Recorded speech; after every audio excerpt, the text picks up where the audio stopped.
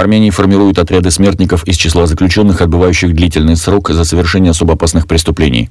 Об этом в своем телеграм-канале сообщил главный редактор журнала «Национальная оборона» Игорь Коротченко со ссылкой на информацию в армянском сегменте соцсетей.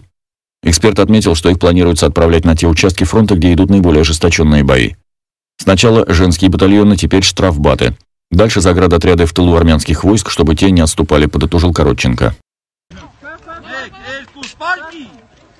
երկու, երորդ վարկյանը չպտի հասնի վազելուս, մեկ, երկուս, մեկ, երկուս, մեկ, երկուս,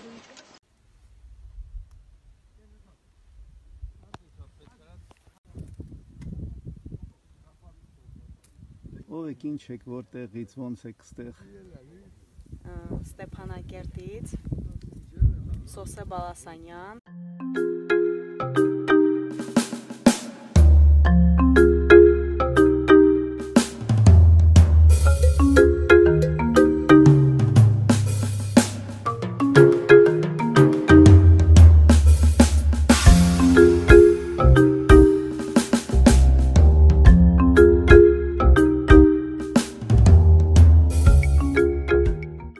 Я, тут надо сразу оговориться, что я меньше верю сейчас армянской стороне.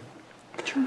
Потому что то информационную войну, как они пытаются вести, она не выдерживает никакой критики. По их данным, которые ежедневно публикует Министерство обороны Армении, они сбили уже 17 азерб- азербайджанских самолетов, а они вылетали один раз, и то парой. За весь этот конфликт, понимаете, да? И благополучно вернулись, это было вчера. Ну, там количество танков, которые они подбили, они рисуют 500 штук уже. Да, то есть скоро у Азербайджана кончатся, кончатся танки, да, и они заново начнут их подбивать. Или около того. Там 5000 убитыми. Ну, абсолютно нереальные цифры там, да, и так далее. А это официальный орган.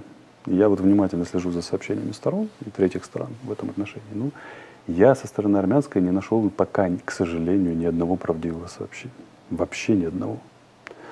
То есть и хочешь им верить и брать эти данные, но их приходится перепроверять миллионом способов. Ну, а кроме тех случаев, когда они вообще никакой критики не выдерживают, типа там 17 сбитых самолетов. Поэтому, конечно, берешь оттуда информацию, но, но с. Представляем фото и видео боевой техники и боеприпасов, оставленных при бегстве с поля боя противником, понесшим большие потери в живой силе и военной технике в ходе боев на Физулинском направлении.